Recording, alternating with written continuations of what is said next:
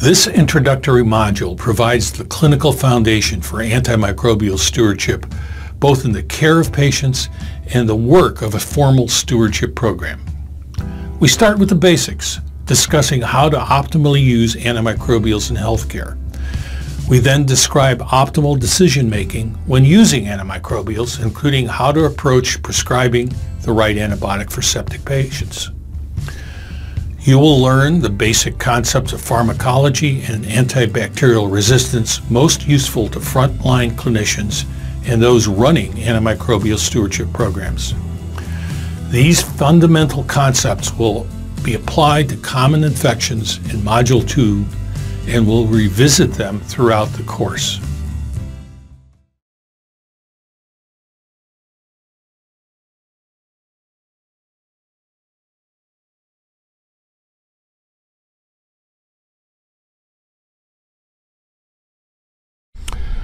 We are swimming in a sea of antibiotics. Expenditures for anti-infectives in non-federal hospitals were the third highest among all classes of pharmaceutical agents in 2009 and, overall, antibiotics are reported to be the second most frequently prescribed class of pharmaceuticals. Approximately 40% of hospitalized patients receive an antibiotic during their inpatient stay. In 2010, in the outpatient setting, an average of 0.8, that is almost one, antibiotic prescriptions were written for each person in the U.S. One would think that we are all constantly suffering from bacterial infections. If this were true, one may wonder how the human race failed to become extinct before the availability of antibiotics. In fact, however, as much as one half of antibiotic use is inappropriately prescribed. There are a number of reasons that an antibacterial prescription may be considered inappropriate. These include the absence of a bacterial infection or indication for prophylaxis, or a violation of one of or more of the following Ds of optimal antimicrobial therapy. That is, the right drug, the right dose, the best route of delivery, attention to de-escalation, and the appropriate duration uh, of administration.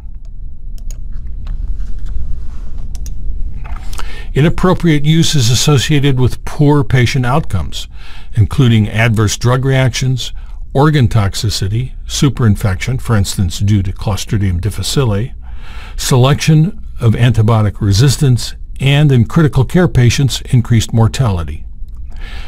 It also results in excess costs, not only drug acquisition costs, but costs accruing from the management of complications, prolonged hospital stays, and costs associated with the emergence of antibiotic resistance. The emergence of resistance is increasingly problematic since the development of novel, effective antibiotics is almost ground to a halt. Antibiotics are a precious resource. Antimicrobial stewardship represents an optimized approach to improve patient care and a sustainable antibiotic future. In a joint statement, the Infectious Diseases Society of America, the, the Society for Healthcare Epidemiology of America, and the Pediatric Infectious Diseases Society described antimicrobial stewardship in this way. Antimicrobial stewardship refers to coordinated interventions designed to improve and measure the appropriate use of antimicrobial agents by promoting the selection of the optimal antibiotic drug regimens, including dosing, duration of therapy, and route of administration. The major objectives of antimicrobial stewardship are to achieve best clinical outcomes related to antimicrobial use while minimizing toxicity and other adverse events, thereby limiting the selective pressure on bacterial populations that drives the emergence of antimicrobial resistant strains. Antimicrobial stewardship may also reduce excessive costs attributable to suboptimal antimicrobial use. Empiric evidence indicates that antimicrobial stewardship programs are, in fact, associated with a significant optimization of antibiotic use, a reduction in the incidence of infection with antibiotic-resistant pathogens, reduced hospital length of stay, and reduced drug acquisition costs. The tactics utilized by antimicrobial stewardship programs commonly include the following. Clinician education, formulary optimization, antibiotic use restrictions, prospective audit with intervention and feedback, optimization of dosing and administration, streamlining, that is, for instance, de-escalation and elimination of redundant combination therapy, early switch from intravenous to oral route of administration, appropriate duration of antibiotic therapy, and implementation of site-specific treatment pathways based on clinical guidelines.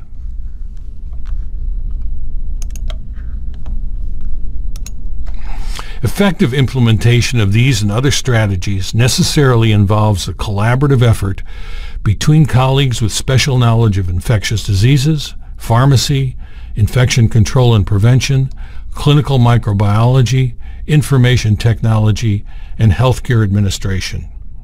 The strategies themselves must be based on the clinical science underlying the principles of appropriate antibiotic use. These principles are, in turn, based on knowledge of mechanisms of action and of resistance to antibiotics, their pharmacodynamics and pharmacokinetics, and potential for adverse effects, including collateral damage. And finally, the available clinical trial evidence demonstrating therapeutic benefit.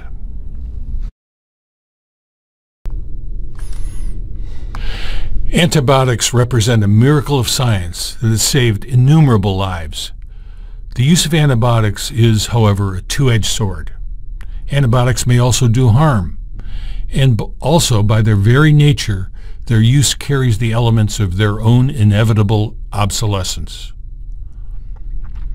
In December 1940, Albert Alexander, a 43-year-old Oxfordshire constable, developed a severe facial infection after having scratched his face while pruning rose bushes.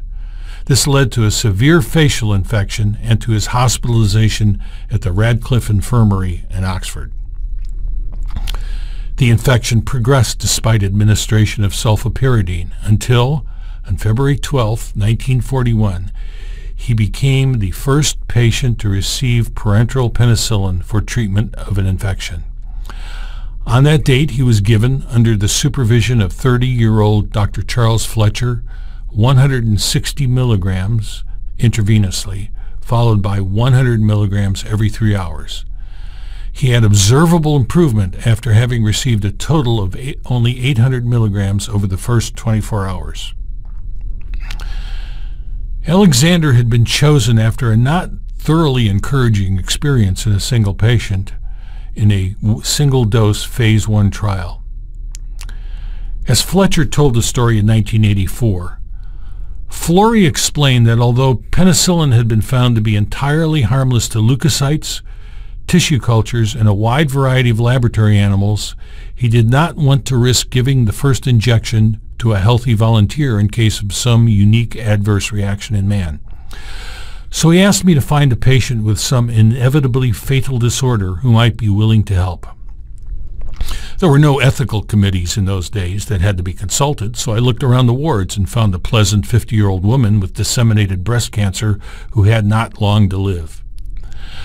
I explained to her that I wanted to try a new medicine that could be of value to many people and asked if she would agree to a test injection of it. This she readily did. An injection of 100 milligrams was administered via an antecubital vein on January 17, 1941, and was followed several hours later by a rigor and fever. Th this experience resulted in further purification of the preparation with removal of pyrogens before its next administration to a human. While Albert Alexander had demonstrated continued dramatic improvement with continued penicillin administration, after five days and approximately 4.4 grams of treatment, however, the entire supply of available penicillin had been exhausted. The limited supply was the result of the difficulties in production, which was originally done in covered bedpans, but these became unobtainable in England during the war. They were supplanted by 700 flat flat-bottomed stackable ceramic vessels tended around the clock by penicillin girls. But the production problem remained. The exhaustion of the penicillin supply for Constable Alexander occurred, in fact, despite readministration to him of penicillin recovered from his urine, which Fletcher transported by bicycle to the Dunn laboratory each morning.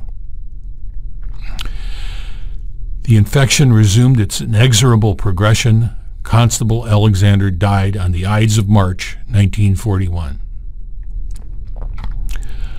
Once the problem of mass production was eventually solved, penicillin use became widespread. In his December 11, 1945 Nobel lecturer, Alexander Fleming warned of the danger of bacteria becoming resistant to penicillin as the result of its misuse. In fact, antibiotic resistance occurs with or without misuse as a result of the selective pressure exerted on the bacterial ecology by its administration. The emergence of resistance may be rapid or slow, but it does appear to be inevitable. Among the infections for which penicillin proved to be life-saving was pneumonia caused by Streptococcus pneumoniae. The emergence of resistance to this organism to penicillin was relatively slow to appear. Thus, it was not until 1967, after two decades of penicillin use, that investigators reported the first clinical pneumococcal isolate resistant to this antibiotic. The resistant isolate was recovered from a patient with hypogammaglobulinemia and chronic bronchiectasis who had received multiple courses of antibiotics over her 25 years. While there were only sporadic reports of resistance over the next decade, the emergence of multiple cases in South Africa and other locations of penicillin-resistant, and in some cases multi-drug resistant, pneumococcal disease was a harbinger of the global diminishing efficacy of penicillin in the treatment of infection due to this pathogen. Staphylococcus aureus took a different path. Penicillin resistance emerged in the 1940s and became pandemic in hospitals in the early 1950s. Currently, 90% of both hospital and community strains are penicillin resistant. The introduction of the semi-synthetic penicillin methicillin was followed within a year by evidence of resistance, which is now pandemic in both hospitals and the community. Penicillin resistance in Neisseria gonorrhoeae re can result from a variety of mechanisms, including mutational and by horizontal gene transmission. In each of the above inst instances, the widespread use of antibiotics exerted the selective pressure that led to the emergence of resistance. In each, horizontal gene transfer played a critical role. Penicillin resistance in the pneumococcus is the consequence of acquisition of genetic material from commensal alpha hemolytic streptococci, resulting in mosaicism in the gene encoding a penicillin-binding protein, the enzyme target of the antibiotic. Gradual accumulation of changes in the gene is associated with progressively increased amounts of penicillin required to inhibit the organism. In contrast, in Staphylococcus aureus, penicillin resistance is due to the acquisition of a plasmid containing a complete gene encoding a penicillinase, an all-or-nothing phenomenon. Resistance to methicillin similarly is the result of the horizontal acquisition of a gene cassette. These explain the slow gradual appearance of penicillin resistance in Streptococcus pneumoniae and its rapid abrupt acquisition in Staphylococcus aureus. In contrast to these examples of horizontal acquisition of resistance genes, resistance may also occur by additional mechanisms, including upregulation of efflux genes and genetic mutations within the target organism. A remarkable example of the latter was the result of the selective pressure exerted after the introduction of ciprofloxacin into clinical practice. At one institution, high-level resistance to ciprofloxacin in Staph aureus resulting from chromosomal mutations increased from 0 to 79% in the first year after its use. These mechanisms uh, described also enhance the possibility of multi-drug resistance. Mechanisms such as these, driven by the selective pressure exerted by antibiotic use, have led to the widespread emergence of resistance in a broad variety of organisms. In addition to the examples just discussed, we are dealing with vancomycin-resistant Enterococcus, extended spectrum beta-lactamase producing Enterobacteriaceae, carbapenemase producing Klebsiella, multi-drug resistant Acinetobacter and Pseudomonas, as well as others. Antifungal and antiviral resistance is also becoming more prevalent. Clinicians are thus caught between Scylla and Charybdis. On the one hand, withholding antibiotics when they are truly indicated may lead to the death of an individual, while promiscuous use of antibiotics accelerates their path to irrelevance because of the emergence of resistance. Every antibiotic use has a potential public health consequence.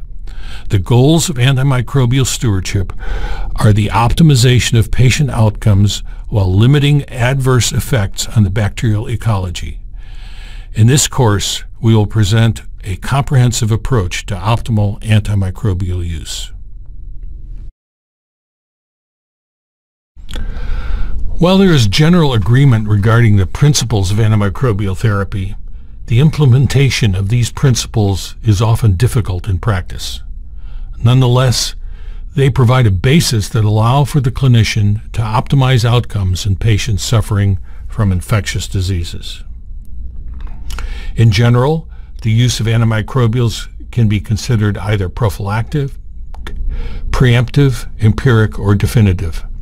Antibiotics are used prophylactically to prevent infection, preemptively to abort infection, empirically to provide initial control of infection in the absence of knowledge of its etiology, and definitively to cure infection of known etiology.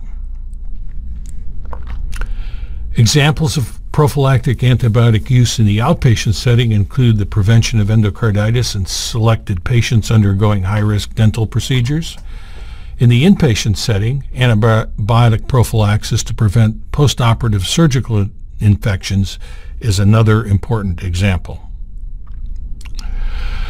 Perhaps the commonest use of preemptive therapy occurs in immunosuppressed transplant recipients to prevent the development of end organ infection in patients with cytomegalovirus circulating in their blood.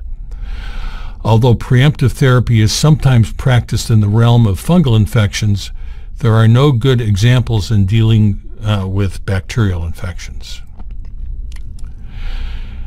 In the outpatient setting, common uses of empiric therapy, including in dealing with patients with acute sinusitis, community-acquired pneumonia, and cystitis. In the first two of these, the clinician seldom knows the precise etiology of the infection, including whether it is actually caused by bacteria. Antibiotic administration is empiric in the initial management of urinary tract infections, but may require alteration depending on the results of urine culture and susceptibility, at which time definitive therapy may be administered. In the inpatient setting, the use of empiric antibiotic therapy is widespread and includes patients with community and hospital-acquired pneumonia, fever with neutropenia, undifferentiated sepsis, and others. Finally, definitive or targeted antibiotic therapy is tailored to treat infection in which the etiologic pathogen and its antimicrobial susceptibility pattern are known. We will now focus on empiric therapy, more specifically on empiric therapy in sepsis. The importance of the choice of an appropriate empiric antibiotic regimen in patients with severe infection is evidenced by the fact that inappropriate therapy, defined as the absence of an administered antibiotic to which the subsequently identified pathogen is susceptible, is associated with increased mortality. Furthermore, the antibiotic must be administered as rapidly as possible, preferably within one hour. In patients with septic shock, there is an almost 8% increase in mortality for every hour in delay in initiation of appropriate antibiotic therapy beyond that first hour. Other important elements in the choice of antibiotics for empiric use include the site of infection and the likelihood of antibiotic resistance. Furthermore, identifying the presumptive site of infection provides clues regarding the likely pathogens and may also allow for the possibility of source control, such as drainage of an abscess or removal of a central venous access device. Clearly, the likely pathogens in each case are different. In suspected urosepsis, uh, they are likely to be gram-negative rods, whereas in pneumonia, other pathogens are likely.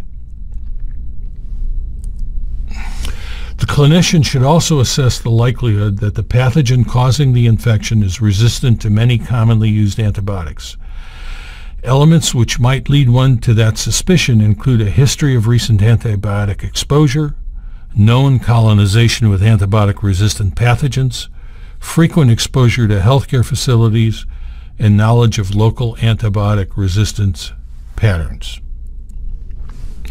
Also to be taken into account are host factors. Some of these, for instance, might preclude the use of individual antibiotics. For example, the presence of life-threatening allergies to a particular antibiotic or class of antibiotics.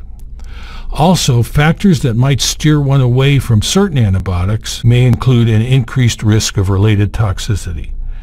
Examples include the use of nephrotoxic agents such as aminoglycosides or amphotericin in patients who already have marginal or unstable renal function, and especially if they are receiving other nephrotoxic drugs. Of critical importance in the decision-making process is an assessment of the severity and trajectory of illness. How sick is the patient, and how rapidly are they likely to deteriorate? What in fact is the margin for error? If I give the wrong antibiotics today, will the patient still be alive tomorrow? This sort of assessment dictates a lot of the kind of decisions that are made in the management of the patient. Other recommendations include ignoring colonization and only treating infection, obtaining cultures before the initiation of antibiotic therapy without causing inordinate delay in the institution of antibiotic administration, and others. Having initiated empiric therapy, the clinician's job is nowhere near completed. The choice of therapy should continually be reevaluated. This approach is supported by a variety of published recommendations. Thus, the Surviving Sepsis Campaign recommendations state that in patients with septic shock or severe sepsis without shock, the administration of effective intravenous antimicrobials within the first hour of recognition should be a goal of therapy. But they also state that the antimicrobial regimen should be reassessed daily for potential de-escalation to prevent the development of resistance, to reduce toxicity, and to reduce costs. De-escalation, however, is not the only decision that might be made. In fact, for example, therapeutic escalation may be warranted in some cases. An important reassessment checkpoint generally arises at 48 to 72 hours, at which time much microbiological information is available, as is clinical information indicating the evolution of the patient's clinical status. At this point, a formal antibiotic timeout should be taken and documented. The decisions during the timeout must take into account the information mentioned above in the context of the bug, the drug, and the host. If a pathogen is identified and its antimicrobial susceptibility pattern has been determined or is highly suspected, an adjustment in antibiotic choice may be indicated as in the case of a bug-drug mismatch. If cultures are negative, decision-making is often more complex and must be made on assessment of the patient's clinical status and trajectory. There are three general possibilities with regard to clinical status. There could have been no improvement. The patient could be improved, or in fact, the patient's clinical status may have worsened. Let's take the case in which the patient is improving. In this instance, the clinician may either continue the therapy, modify it, or in fact discontinue it depending on clinical status and other available information such as serum procalcitonin measurements. If a pathogen has been identified, any bug-drug mismatch present should be resolved Despite the improvement, redundancies in coverage addressed and antibiotic spectrum narrowed. Adverse effects of antibiotic use dealt with, dosing issues examined, and anticipated duration of therapy addressed. Dosing should be optimized and consideration given to IV to oral conversion may be anticipated. The issue of the appropriate duration of antimicrobial therapy is sometimes unclear, but in some instances at least national guidelines provide clear recommendation. Thus, it is recommended that hospital-acquired pneumonia be treated for only seven days. Recent data suggests that in cases in which daily ventilatory settings are minimal, that is a PEEP of 5 millimeters of mercury or less and an FiO2 of 0.4 or less, antibiotics may be discontinued after three days. An 80% decrease in serum procalcitonin or reaching a normal value may also allow early discontinuation of antibiotic therapy. The clinical pulmonary infection score has also been used to discontinue antibiotics at three days, uh, but its usefulness has recently been questioned. Decision making regarding starting and stopping antibiotic therapy is more often than not fraught with ambiguity because of inadequate data. As William Osler said, medicine is a science of uncertainty and an art of probability. We can nonetheless optimize our approach by utilizing the principles of antibiotic therapy. This module is on the principles of antibacterial pharmacokinetics and pharmacodynamics, Part 1. The goal of antimicrobial therapy is the effective and safe treatment of patients suffering from infections. This involves careful consideration of three elements, the bug, the drug, and the host. Also of importance is the consideration of the fact that the effective antibiotic administration extends beyond the individual patient and the target pathogen, and that antibiotics affect the general bacterial ecology of the patient and the patient's environment. It must be recognized that there are 10 times as many bacterial cells as there are human cells in and on the patient, and that this entire varied and massive bacterial burden is exposed to the administered antibiotic, not just the target pathogen. An important consideration is that different antimicrobial classes affect organisms differently, which is why dose optimization of antimicrobials is an essential component of antimicrobial stewardship. The clinician must take into account host and pathogen factors in choosing an appropriate antibiotic, its dose, and its route and duration of administration. Critical to this decision-making process is a firm understanding of antibiotic pharmacokinetics and pharmacodynamics, also known as PKPD. The pharmacokinetics of an antibiotic describes its disposition within the body, including its absorption, distribution, metabolism, and elimination, whereas antibiotic pharmacodynamics examines the relationship between measured drug concentrations in serum, tissues, and body fluid and its antimicrobial effect on the target organism. Simply put, pharmacokinetics is what the body does to the drug and pharmacodynamics is what the drug does to the body, or in our case, what the antibiotic does to the target organism. Knowledge of these two characteristics is important for the selection of breakpoints for interpretation of in vitro susceptibility testing results, as well as optimal antibiotic selection together with the most effective dosing regimen. When an antibiotic is administered to a patient, the pharmacokinetics describes the relationship between an antibiotic dosage regimen and concentration in serum at the infection site. Pharmacokinetics, however, does not correlate the concentration of antibiotic at the site with the antibiotic's effect. Pharmacodynamics, on the other hand, describes the relationship between antibiotic concentration at the site of infection and its biologic effect on the organism. This effect could be bacterial killing or inhibition of growth.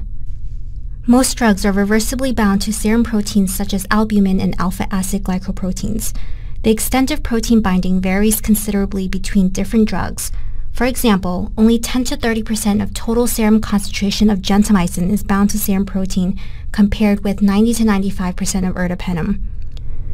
Serum protein binding is an important consideration because 1.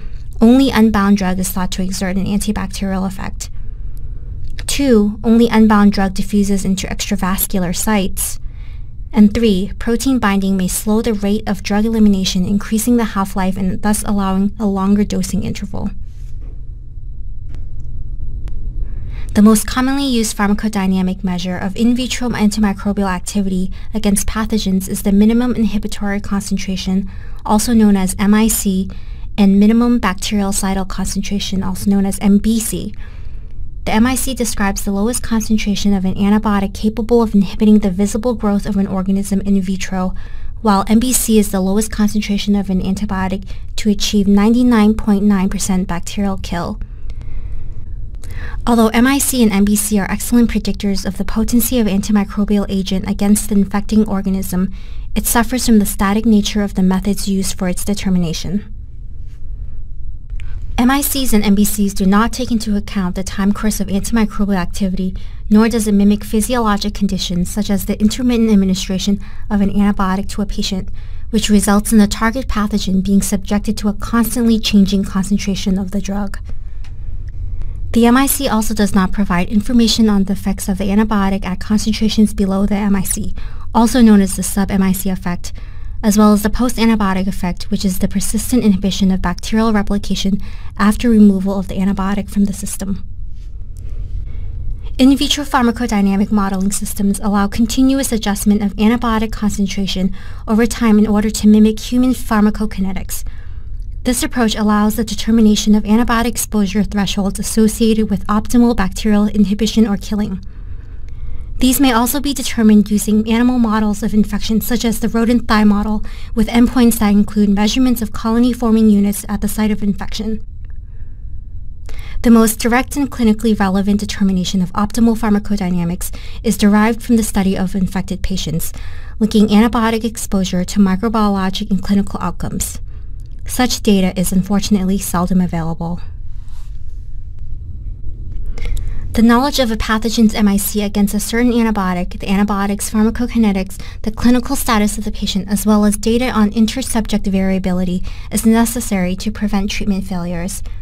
The consideration of all of these factors and the probability of attaining successful therapeutic outcomes based on the drug pharmacokinetics and pharmacodynamics can be estimated using Monte Carlo simulations.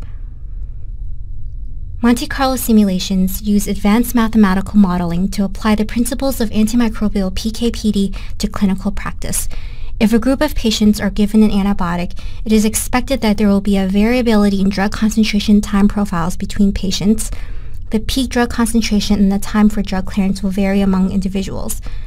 Monte Carlo simulations incorporates the variability in pharmacokinetics among a sample population when predicting antibiotic exposure, then calculates the probability for obtaining a target exposure for a range of MICs that an organism can have to a particular antibiotic regimen. An example would be determining the probability of achieving free drug concentration over 50% of the dosing interval for piperacillin tazobactam against Pseudomonas aeruginosa with an MIC of 8. A commonly used measurement is Cmax, which is the maximum drug peak concentration, and Cmin, the trough, i.e. the lowest antibiotic concentration. By using MIC as a measure of potency of drug-organism interactions, the pharmacokinetic parameter determining efficacy can be converted to PK/PD indices. Since only the fraction of antibiotic not bound to serum protein is considered active, these ratios are expressed as the free fraction over the MIC. The three most common PK/PD indices used to predict drug response are 1. Ratio of maximum free drug concentration to the MIC 2. The duration of time where free drug concentration remains above the MIC and 3. MIC ratio of free area under the concentration time curve to the MIC. Understanding these three PK/PD parameters, which quantify the activity of an antibiotic, allows us to optimize antimicrobial treatment regimens. The next module will review PK/PD of different classes of antibiotics and dosing strategies developed to optimize efficacy as well as minimizing toxicity. In this next module, we will review specific antibiotics and their pharmacokinetic and pharmacodynamic parameters and how these parameters influences the way pathogens respond to certain regimens and the various dosing methods developed to optimize the antimicrobial activity of an antibiotic. The three most common PK/PD indices used to predict drug response are 1. Ratio of maximum free drug concentration to MIC 2. The duration of time where free drug concentration remains above the MIC. And 3. MIC ratio of free area under the concentration time curve to the MIC.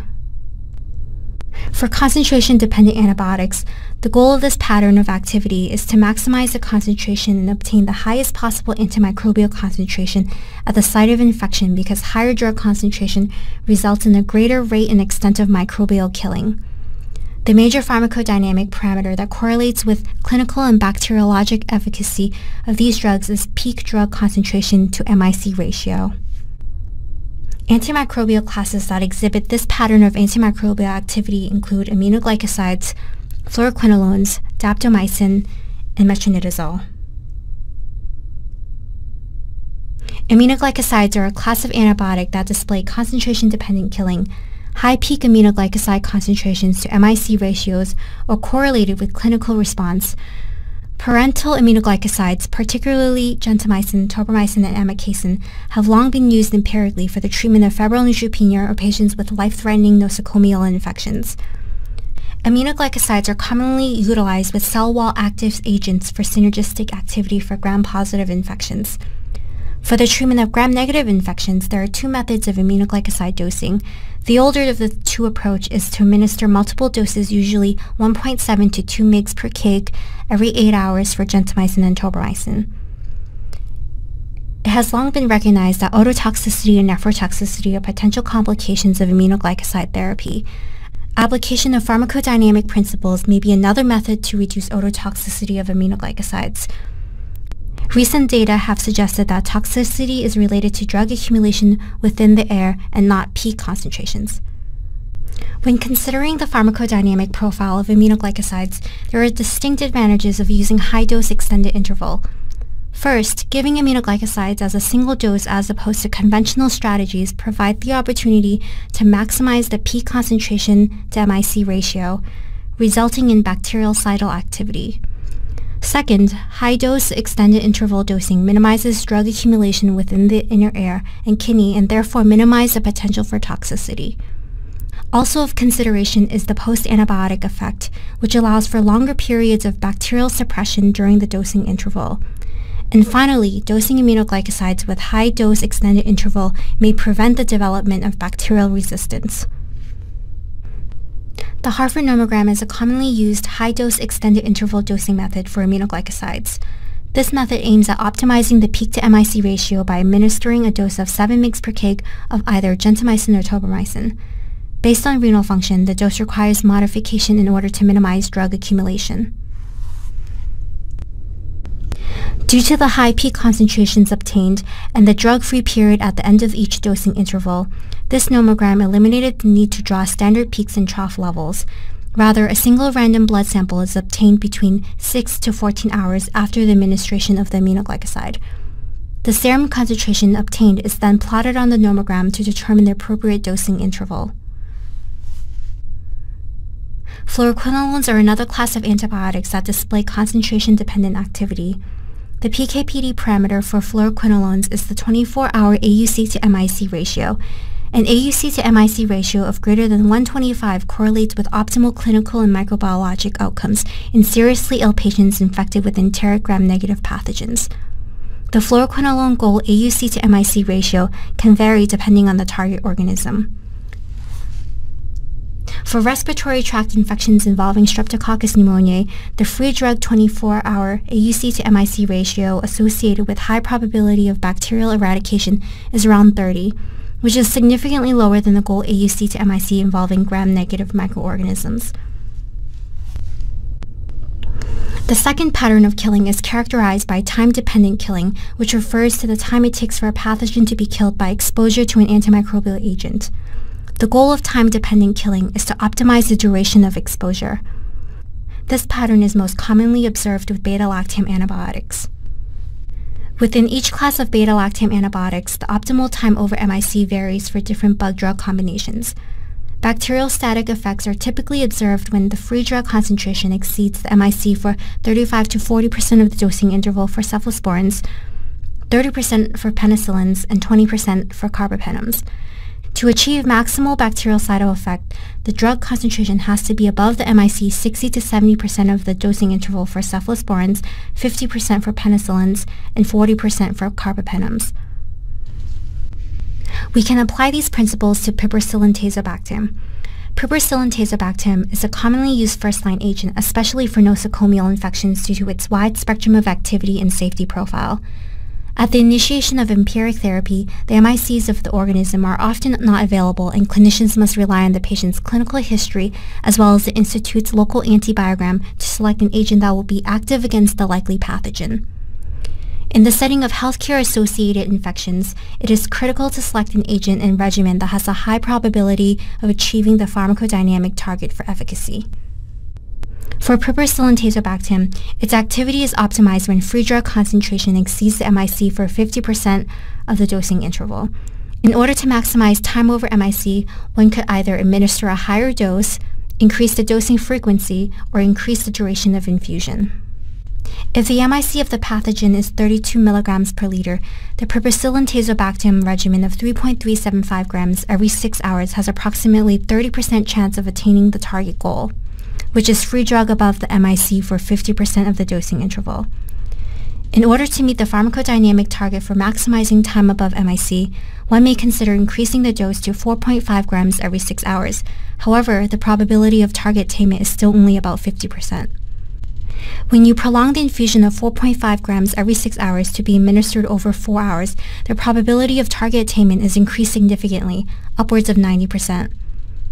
This method of prolonging or continuous infusion of time-dependent antibiotics allow for a higher probability of achieving the goal pharmacodynamic target compared to intermittent dosing and can be especially beneficial in the critically ill population and those infected with organisms that have a higher MIC. Here is an example of bactericidal effect of varying drug concentrations for a concentration-dependent antibiotic compared to a time-dependent antibiotic on a strain of Pseudomonas aeruginosa.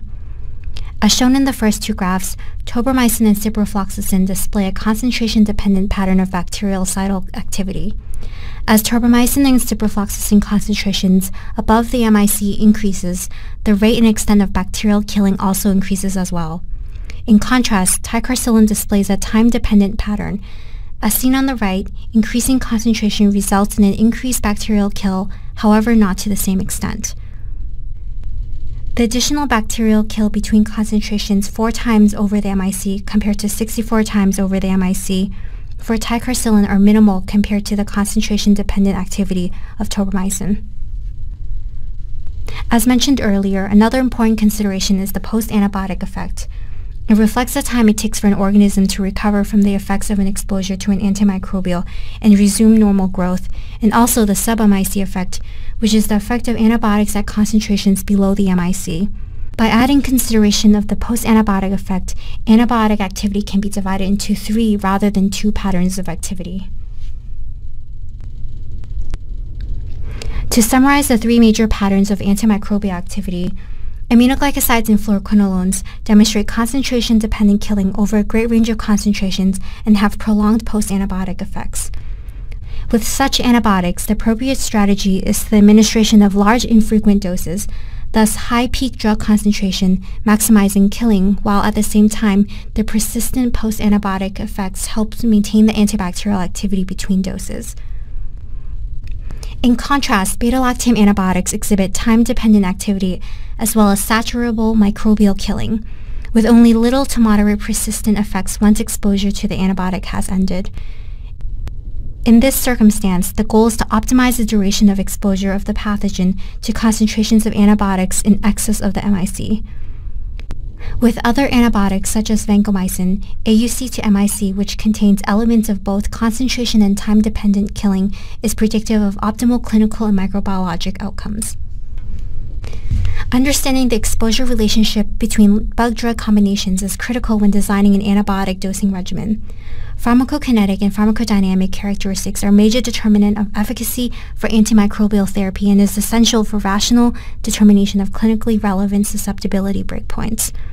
For concentration-dependent antimicrobials, the pharmacodynamic goal is to maximize the antibiotic drug concentration at the site of infection, For time-dependent antimicrobials, prolonged or continuous infusion regimens are associated with improved probability of target attainment, especially in the critically ill or patients infected with high MIC or reduced susceptibility pathogens. The role of antimicrobial stewardship is to consider the pharmacokinetics and pharmacodynamics of each antimicrobial class and promote the use of optimal dosing regimens for maximal bacterial eradication, as well as preventing the development of resistance on therapy.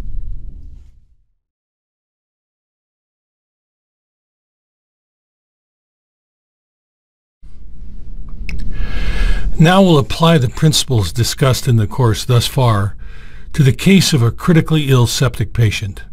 In this segment, we illustrate the thought processes that ought to be used in selecting appropriate empiric antimicrobial therapy in such a patient. The patient was a 56-year-old, previously healthy man who was admitted to the hospital with a severe acute diverticulitis. Empiric antibiotic therapy was initiated at that time with ampicillin plus sulbactam. However, the patient continued to do poorly and required a partial colectomy. Ampicillin sulbactam was continued, but on the third postoperative day he developed confusion, fever, leukocytosis, tachycardia, and hypotension. His blood pressure was 90 over 60 with a pulse of 130 and a respiratory rate of 20 per minute. On examination, there was no evidence of infection of the surgical wound and no other obvious source of infection. The central venous catheter site appeared to be non-infected, uh, but it was noted that an indwelling bladder catheter was in place.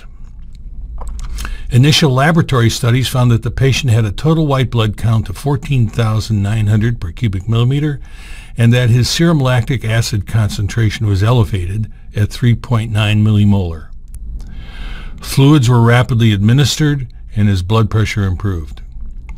Blood and urine cultures were rapidly obtained. Chest x-ray showed no evident pulmonary disease.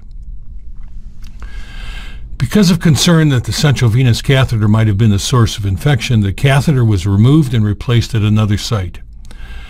computerized tomography of the abdomen and pelvis was planned, and antibiotic therapy was rapidly initiated question at this point is what antibiotics should be chosen to be initiated in this circumstance and what factors should be considered in making this decision. A critical initial step is the assessment of the potential sources of infection. In this patient, the most likely sites of infection to be considered include the central venous catheter that had been pl in place for three days, uh, and his urinary tract, which had an indwelling bladder catheter, as well as an intra-abdominal site related to the recent surgical procedure. Another critical consideration in choosing empiric antibiotic therapy is an assessment of the likely etiologic pathogens, an assessment that is, of course, dependent on knowledge of the likely source of infection. With central venous catheter infection, although gram-positive organisms, including ones resistant to most beta-lactam antibiotics, are most frequently encountered, gram-negative bacteria and candida must also be considered. If the catheterized urinary tract is the source, the pathogens are most likely to be gram-negative bacteria. If, however, the source of infection is the abdomen and caused by contamination with intestinal contents related to a leak from the surgical site, the pathogens would of course reflect the fecal stream and include a mixed aerobic anaerobic flora with both gram-positive and gram-negative organisms. The next consideration is an assessment of the likelihood that the pathogen or pathogens causing this infection is antibiotic resistant. This infection was hospital acquired and it occurred while the patient was receiving ampicillin sulbactam.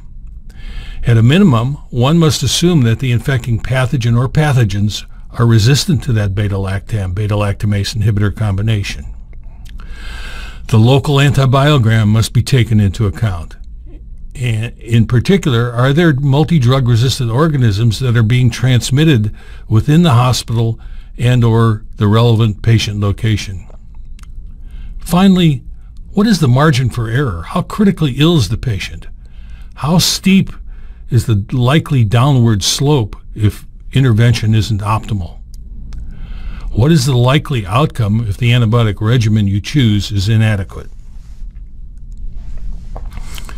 Taking all this into account, our empiric choice of antibiotics should include one or more agents active against staphylococci, including especially coagulase negative staphylococci because of the possibility of central venous catheter infection. It should also provide coverage of enterococci because of the possible intra-abdominal source of infection uh, and given that this infection occurred in an inpatient while receiving ampicillin sulbactam, we would assume that an enterococcus would be ampicillin resistant. Anaerobes are likely present if the if the intra-abdominal site is the source.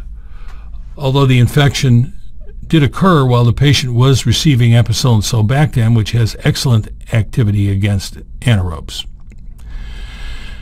Aerobic gram-negative, including multi-drug resistant organisms in some circumstances, must be considered. We also must consider the possibility that Candida may be playing a role either from an intra-abdominal or a central line infection.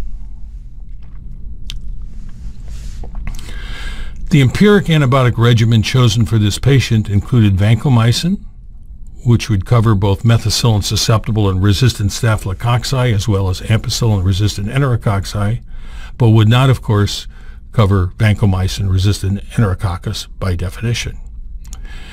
If the presence of VRE is of concern because of, for example, knowledge of prior colonization or because of a high local prevalence of the organism, the use of linezolid or daptomycin might be preferable for coverage.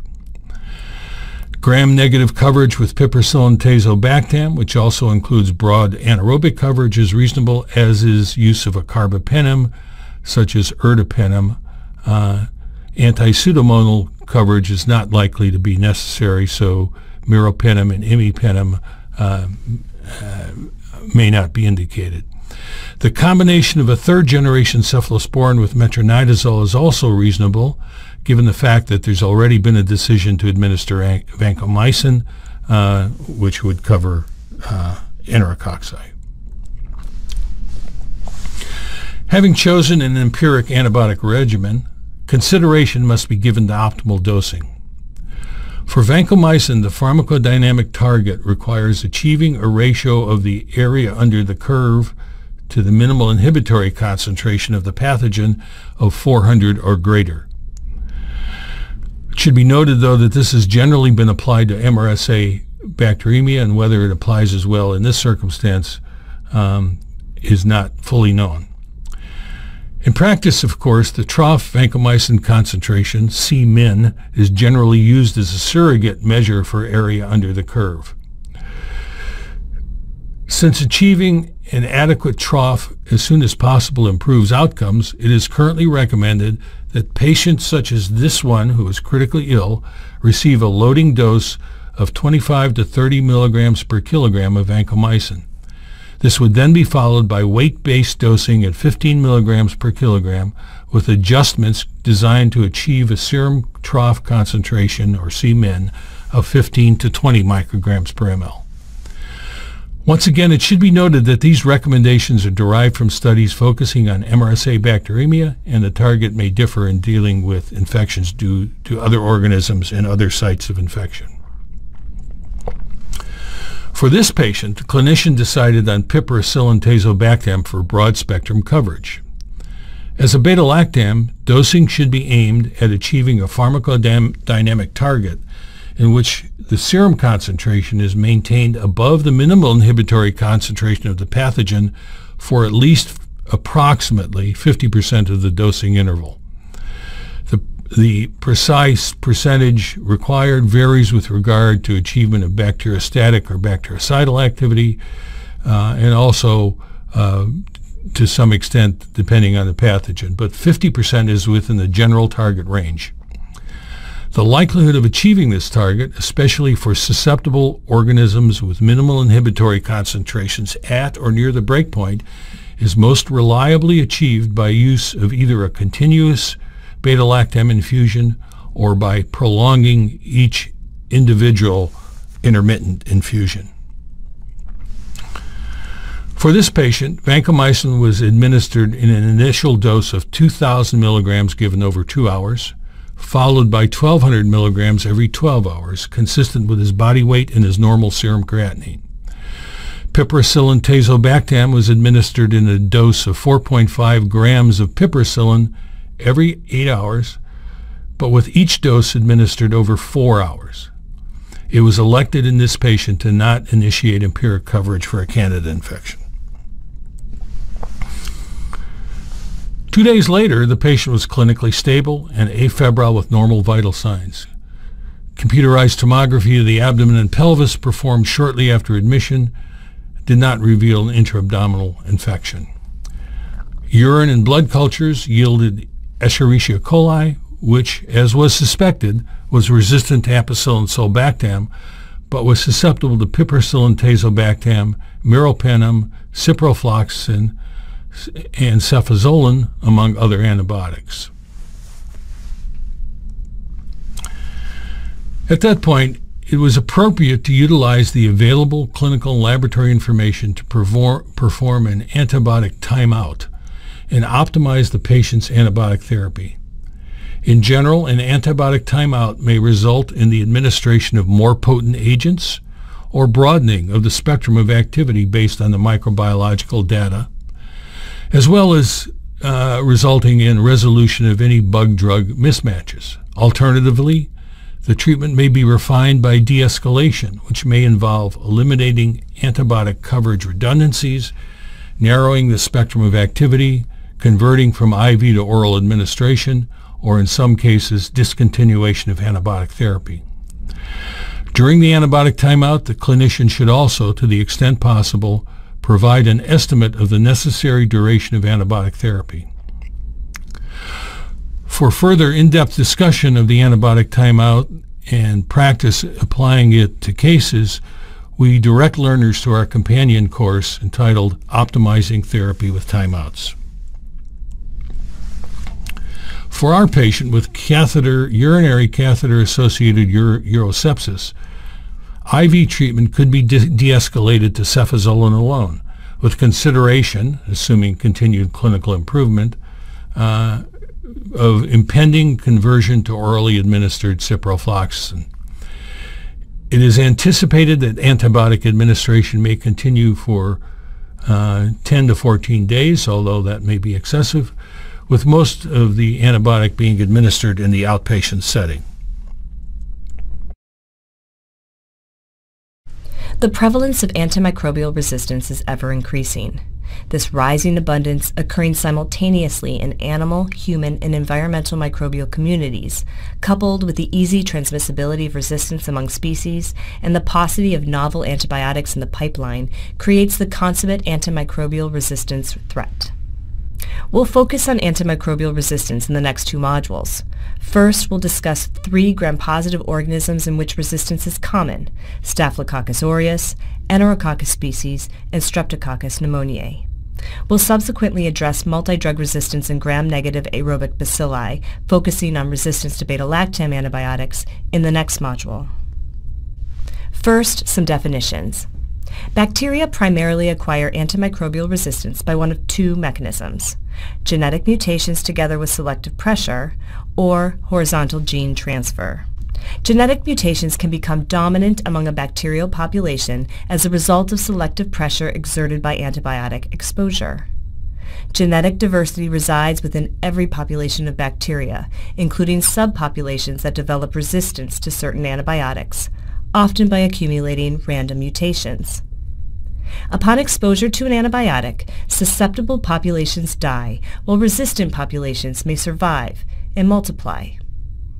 Resistance is then vertically passed on to daughter cells, creating a resistant population. In the case of horizontal gene transfer, bacteria acquire resistance from another microorganism. Antibiotic resistance genes are carried on mobile genetic elements, such as plasmids or transposons, that can act as vectors transferring resistant genes to other members of the same bacterial species, as well as to bacteria in another genus. We'll point out how specific species have acquired resistance in these two modules. It's important to remember that resistance to a variety of antibiotics may accumulate over time, leading to the emergence of multi-drug resistant organisms. Although the incidence of methicillin-resistant Staphylococcus aureus, or MRSA, infections in the United States have declined since the early 2000s, it remains a serious global public health threat. In a 2013 report, the CDC included both methicillin-resistant and vancomycin-resistant Staph aureus in the top 18 drug-resistant threats. They estimated that over 80,000 severe infections and over 11,000 deaths are due to MRSA per year in the U.S. Reflecting the global reach of this problem, in 2017 the WHO named methicillin-resistant vancomycin intermediate or vancomycin-resistant Staph aureus as a high priority pathogen requiring the development of new agents. MRSA remains one of the most common healthcare-associated infections in the U.S., although the incidence of these infections has declined by 30% from 2005 to 2011. An unknown but likely greater number of less invasive infections occur in both the hospital and the community. MRSA was first detected in Britain in 1961, the year following the introduction of methicillin, the first semi-synthetic penicillinase-resistant penicillin, into pr- clinical practice. MRSA has subsequently spread worldwide. Almost all methicillin resistance is due to the MECA gene, although resistance due to the MECC gene has been reported, primarily in Europe. The MECA gene is part of a mobile genetic element called the staphylococcal cassette chromosome, MEC. Evidence suggests that MRSA acquired the MECA gene via horizontal gene transfer from coagulase-negative Staphylococcus species. Community-acquired MRSA is highly associated with a unique mobile genetic element called MEC type 4, which is less likely to carry other antimicrobial resistance genes and is smaller in size, perhaps allowing for enhanced mobility. Beta-lactam antibiotics target penicillin binding proteins, membrane-bound enzymes that catalyze the reaction necessary for cross-linkage of peptidoglycan chains. The MECA gene encodes a variant penicillin binding protein 2A, which has a low affinity for most beta-lactam antibiotics. Penicillin binding protein 2A substitutes for other penicillin binding proteins, conferring resistance by modifying the drug target. Two cephalosporins, ceftobiprole and ceftaroline, have high affinity for penicillin binding protein 2A and as a consequence are active against MRSA. Resistance of MRSA to ceftaroline has been associated with mutations in the gene encoding penicillin-binding protein 2A.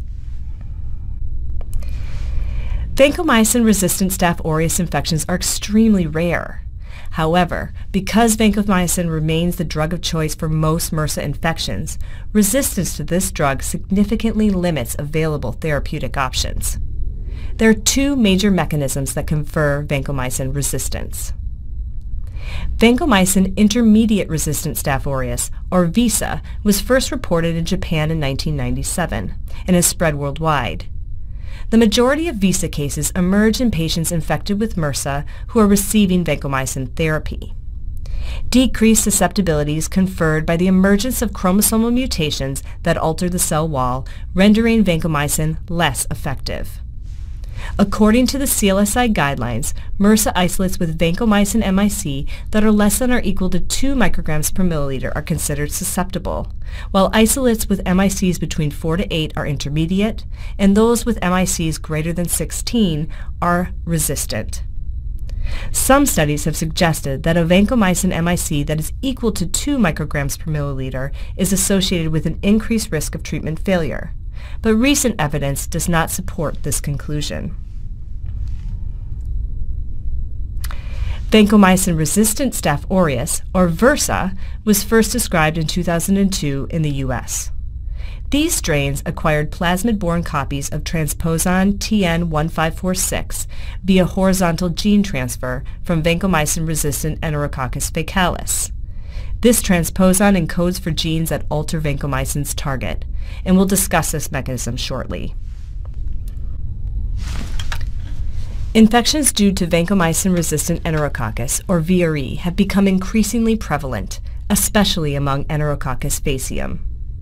In their 2013 report, the CDC estimates that there are 66,000 healthcare-associated infections due to VRE per year in the U.S. In 2017, the WHO included vancomycin-resistant Enterococcus faecium, along with MRSA, as a high-priority pathogen requiring the development of new agents. Treatment of infections due to Enterococcus species can be challenging since these bugs are intrinsically resistant to several classes of antibiotics, including beta-lactams and aminoglycosides, and they can also acquire resistance to other classes. Two species, Enterococcus faecalis and Enterococcus faecium, cause the majority of human disease. Resistance is more common in Enterococcus faecium isolates. VRE was first described in the 1980s after vancomycin use expanded in response to the emergence of MRSA. Vancomycin resistance in Enterococcus species is mediated by the vancomycin or VAN resistance operon. This operon may be carried chromosomally or extrachromosomally on mobile genetic elements.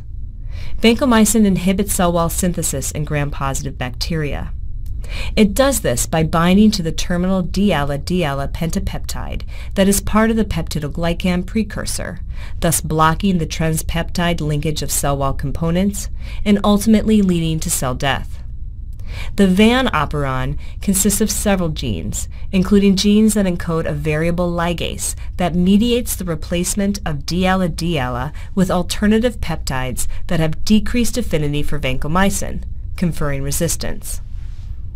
One variable ligase is encoded by VAN-A, a plasmid-borne gene that confers high-level resistance to vancomycin by replacing D-Ala-D-Ala with D-Ala-D-Lac. The dominant VRE variants of Enterococcus faecium and Enterococcus faecalis worldwide carry the VAN-A gene. A less common variable ligase, encoded by VAN-B, is commonly identified in Enterococcus faecium isolates in Australia, demonstrating that resistance patterns vary geographically.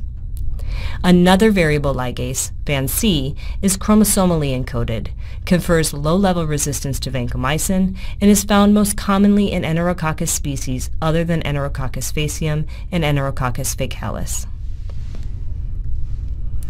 Emergence of enterococcal species with resistance to second-line agents is concerning. Daptomycin is a semisynthetic lipopeptide that penetrates the cell wall and inserts its lipid-soluble tail into the cytoplasmic membranes of gram-positive organisms, disrupting its function and ultimately leading to cell death. Several mutations have been associated with the development of resistance to this drug. Linezolid resistance among Enterococcus species is increasingly reported and most commonly associated with prolonged linezolid use, although not all cases are associated with prior exposure. This drug class inhibits bacterial protein synthesis by preventing the formation of the 70S ribosomal initiation complex. Resistant is conferred by target modification, either from the accumulation of chromosomal mutations or acquisition of a plasmid-mediated CFR gene that was originally described in MRSA isolates. Importantly, tedizolid, the newest drug of this class, retains activity in the presence of resistance due to the CFR gene. Pneumococcal disease, whether or not due to antibiotic-resistant strains, is a major public health problem. However, the emergence of drug resistance further complicates treatment strategies. The CDC estimates that approximately 30% of streptococcal pneumoniae infections are due to drug-resistant isolates, resulting in over 1.2 million infections and 7,000 deaths in the U.S. every year. Higher incidences of drug-resistant pneumococcus have been reported in other countries. And like MRSA and VRE, the WHO included penicillin non-susceptible strep pneumoniae as a priority pathogen requiring the development of new agents. Penicillin resistance was first reported in 1978, 26 years after penicillin was first used to treat a patient. The slow emergence of penicillin resistance in strep pneumoniae was the result of chromosomal mutations that alter its penicillin binding proteins, the target of beta-lactam antibiotics. Beta-lactam resistance among pneumococcus appears to be dose-dependent. In many cases of non-CNS infections, non-susceptibility to beta-lactams is typically overcome by appropriate dosing. However, given the limited CNS penetration of beta-lactams, overcoming resistance in meningitis is challenging. For this reason, a lower breakpoint is used to determine susceptibility for pneumococcus isolated from the CNS compared with those isolated from other sources. This is also why first-line empiric therapy for meningitis includes both vancomycin and third-generation cephalosporins, such as ceftriaxone, while awaiting culture and susceptibility results. The use of macrolides to treat some pneumococcal infections such as otitis media and pneumonia is limited by increasing resistance, the prevalence of which varies geographically. Macrolides block protein assembly by binding to the 23S subunit of the 50S ribosome. Resistance is conferred by the acquisition of either ERM-B, whose gene product alters the target site, or MEF-A, which encodes an efflux pump that expels macrolides from the bacterial cell. The epidemiology of drug-resistant pneumococcus is also impacted by the widespread use of pneumococcal vaccines. Vaccination of children against pneumococcus reduced the number of invasive infections in both children and adults, most likely due to reduced nasal carriage of pneumococcal strains in vaccinated children. However, over 90 distinct pneumococcal serotypes have been identified worldwide, and available vaccines target only a portion of these serotypes. After the introduction of pneumococcal vaccines, so-called replacement strains not covered by the vaccine emerged to account for a greater number of pneumococcal infections, and some of these exhibit drug resistance. Lipoglycopeptides have a lipophilic side chain linked to a glycopeptide and include three drugs, telavancin, dalbavancin, and oritavancin. All three exhibit in vitro activity against VRE and MRSA, although the activity of telavancin and dalbavancin against VRE is largely limited to VAN-B strains, which are uncommon. Oritavancin, on the other hand, is active against both VAN-A and VAN-B strains of VRE, as well as MRSA. These drugs are approved for use in the U.S. for skin and soft tissue infections, and their use in treating other infections requires further investigation.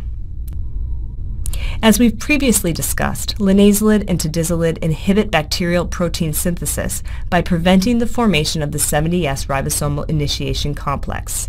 These drugs exhibit activity against both MRSA and VRE, although resistance to linezolid is increasing in prevalence. Tedizolid has key structural differences which allow additional target binding site interactions, accounting for its greater potency and retained activity despite linezolid resistance in some instances. Finally, data regarding the use of combination therapy to treat serious infections due to MRSA and VRE or relapsed infections is emerging. To date, the primary focus has been on a favorable antibacterial interactions between either vancomycin or daptomycin in combination with some beta-lactam antibiotics. The pre precise role of such combination regimens in the clinical setting remains to be determined. In conclusion, antimicrobial resistance in gram-positive organisms presents a serious global public health risk. Slowing the further emergence of resistance depends on the prudent use of antibiotics. And treating infections due to these resistant bugs will depend on the development of more effective antibacterial agents. The prevalence of antimicrobial resistance among gram-negative organisms is ever increasing.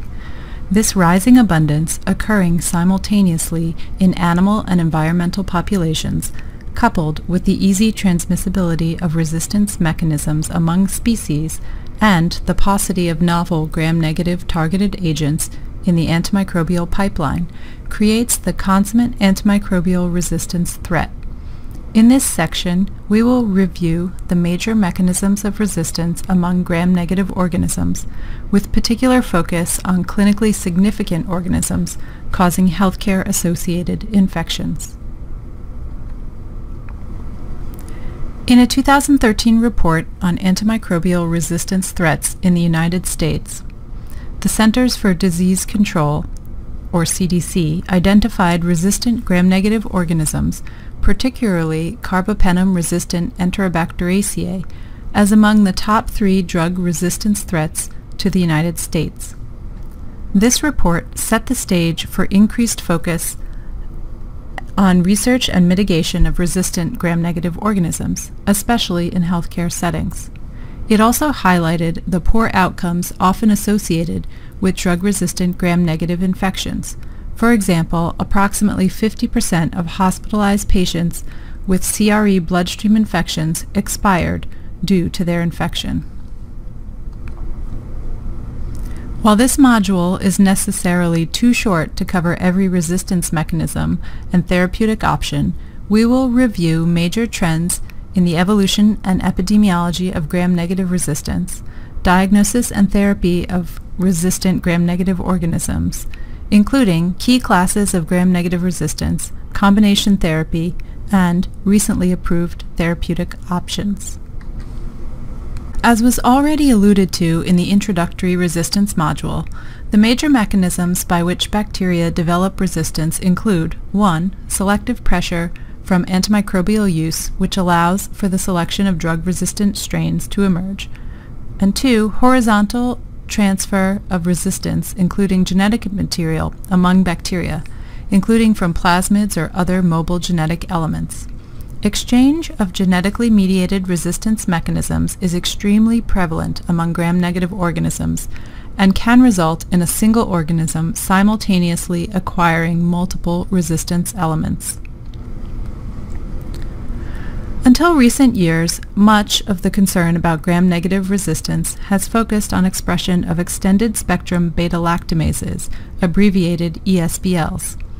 ESBLs are plasmid-mediated enzymes that confer resistance to most beta-lactam-based antibiotics, and they were first identified in the 1960s and increasingly recovered from patients, especially in Europe, throughout the 1980s and 90s. These resistant organisms were predominantly identified in hospitalized patients and a cause of great concern because of their ability to cause extensive outbreaks. Initial ESBL isolates arose as a consequence of mutations in the widespread plasmid-encoded TEM1 and SHV1 beta-lactamases. To date, hundreds of different TEM and SHV varieties have been identified based on varying amino acid substitutions conferring resistance. Other varieties of ESBLs include CTXM and OXA, in addition to other more rare or geographically restricted enzymes. ESBL-producing Enterobacteriaceae have become widespread causes of HAIs and are increasingly found as the cause of community-acquired infections, especially of the urinary tract. The widespread emergence of community-associated ESBLs has been tied to the ascension of E. coli, a common member of the human gut flora, as the predominant Enterobacteriaceae harboring the ESBL enzyme, and specifically to the emergence of CTXM, an ESBL carried by plasmids and expressed by environmental organisms that are easily acquired by E. coli. While global rates of community carriage of ESBL Enterobacteriaceae have exploded since 2008, carriage rates have varied geographically. Epidemiologists, noting the global dissemination and distribution of ESBL-producing organisms, highlighted the significant intra- and inter-regional variations in ESBL carriage. Although data acquisition and community surveillance differ markedly across the world, Southeast Asia, the Western Pacific, and Eastern Mediterranean have all been identified as areas with a high prevalence of ESBL community carriage. Data from the African continent is limited and may not reflect the true burden of ESBL within this geographic region. Identifying areas with high rates of ESBL Enterobacteriaceae is important in assessing the risk for the spread of antimicrobial resistance by international travelers. In one study from the Netherlands, 34.3% of travelers who were initially ESBL negative acquired ESBL Enterobacteriaceae during international travel, particularly when they traveled to areas of high endemicity. ESBL producing gram-negative strains remain problematic, and their emergence led to the increased use of carbapenems, which are generally considered the antibiotics of choice for treating infections due to these organisms. Unfortunately, a newer problem has emerged, namely carbapenem-resistant Enterobacteriaceae, abbreviated CRE, and other carbapenem-resistant gram-negatives. While multiple mechanisms may account for the carbapenem resistance phenotype, the major concern since the early 1990s has been the emergence of enzymes that disable carbapenems. This mechanism was originally identified in Pseudomonas and Serratia in the early 1990s and became widespread with the isolation of these enzymes from Klebsiella in the late 1990s. This discovery led to the well-recognized abbreviation KPC, which corresponds to Klebsiella pneumoniae producing carbapenemase. These enzymes efficiently hydrolyze nearly all beta-lactam antibiotics, including carbapenems. Carbapenemases are no longer limited to Klebsiella, Pseudomonas, and Serratia, and in fact, most Enterobacteriaceae can acquire this resistance mechanism through plasmid-mediated acquisition of the enzyme. KPCs constitute one example of the Ambler class A enzymes. Many other carbapenemases belong to class B, which includes the metallobeta-lactamases, abbreviated MBLs, while Ambler class D contains OXA-type enzymes. These resistance enzymes have been identified in several different gram-negative genera, including several of the Enterobacteriaceae family, Acinetobacter, and Pseudomonas.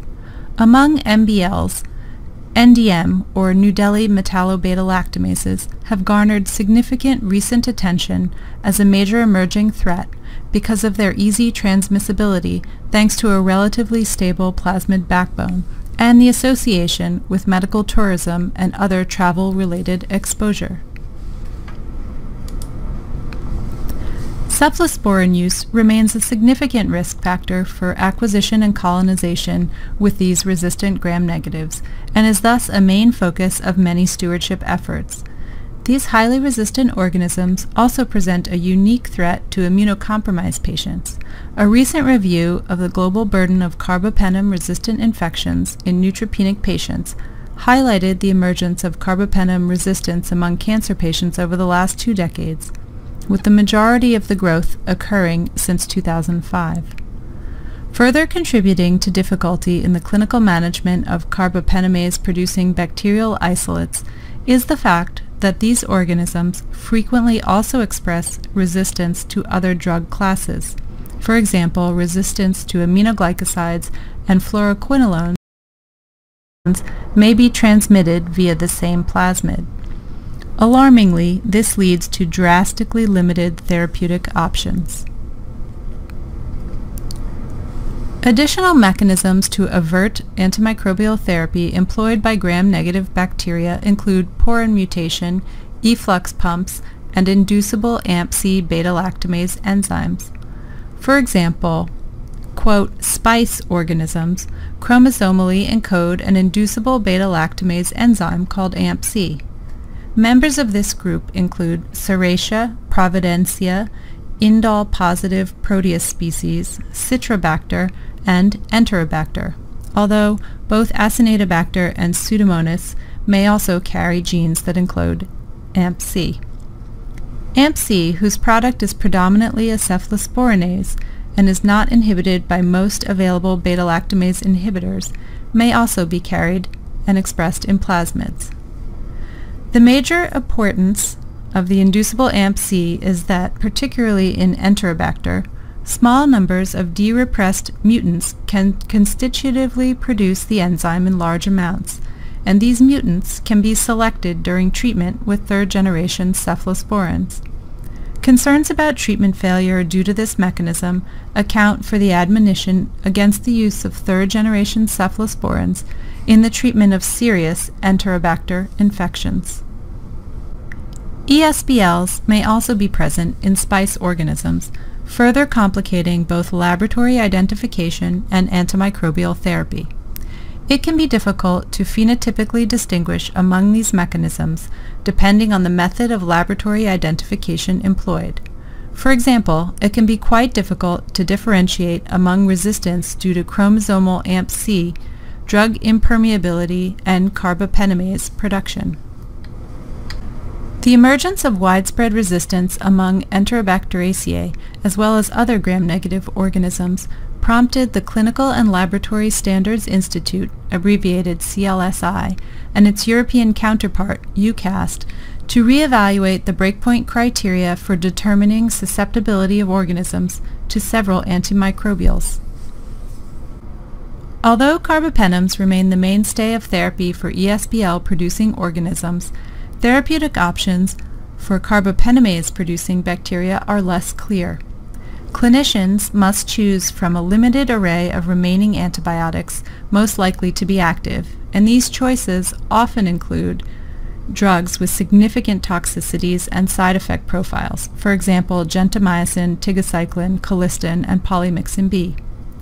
Combination therapy with multiple agents, often including, paradoxically, treatment with an optimally dosed carbapenem, appears to have some clinical advantage over monotherapy, particularly when it comes to engendering resistance, and may perhaps have a mortality benefit. The data supporting combination therapy is derived mostly from observational retrospective cohorts and outbreak investigations, with all the limitations that those types of studies entail. The most common combination therapies include a carbapenem plus tigecycline and either an aminoglycoside or polymyxin.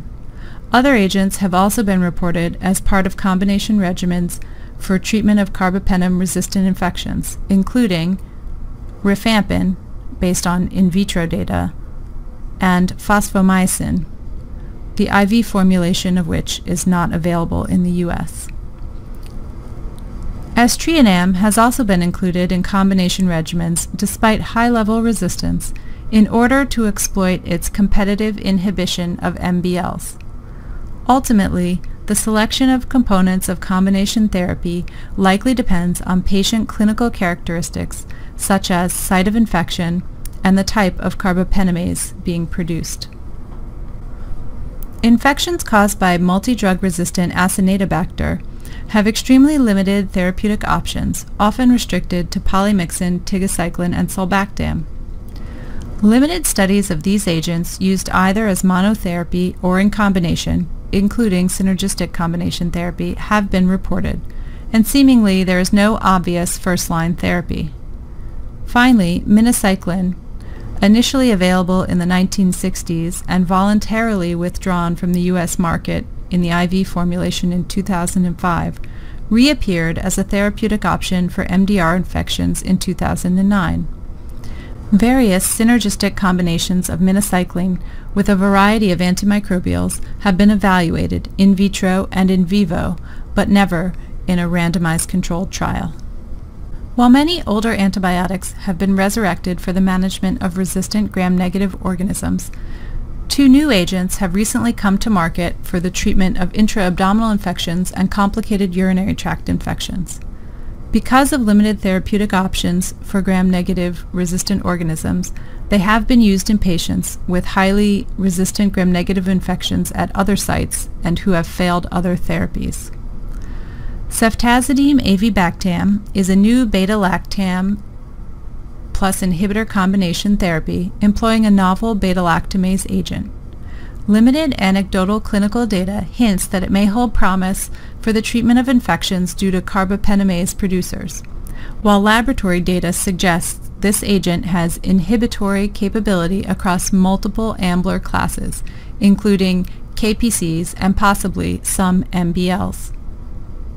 Ceftolozane tazobactam is a novel cephalosporin plus beta-lactamase inhibitor combination with enhanced stability against AMP-C enzymes and typically exhibits a lower MIC to Pseudomonas species.